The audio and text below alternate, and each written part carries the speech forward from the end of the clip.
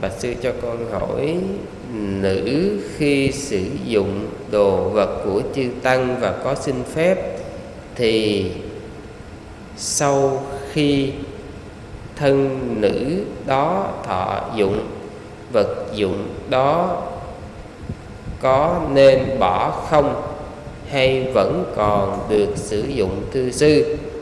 Cũng tùy món. Thí dụ như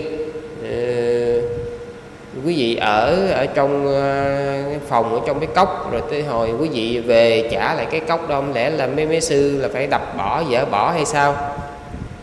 À, sư thấy nhiều cái lạ lắm.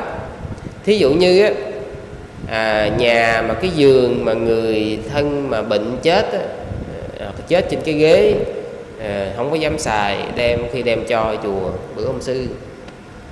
Đem đem cho đem đem cho cho ông sư bạn sư mà người bệnh sau đó mà máu nó, nó dây ra trên giường á mà trà mà trà không kỹ máu nó còn dính trên giường nó đem cho ông sư. À. Thì nhiều lắm nhiều mấy cái vụ hoặc là đồ cái, cái à, đồ mà người nhà mà chết đó, họ thấy à, xui xẻo rồi họ đem cho chùa. Sư thấy lạ biết lạ gì không? Cái nhà họ chết trong nhà sao không cúng cái nhà cái nhà cho chùa? Đâu có cúng cho mà cho khôn lắm cho biết lựa ừ. à, cho nên là gọi là cũng ờ, tùy thôi.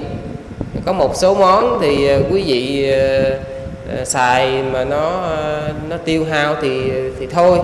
Còn mấy món nào ở chùa còn xài được thì để lại cho chùa.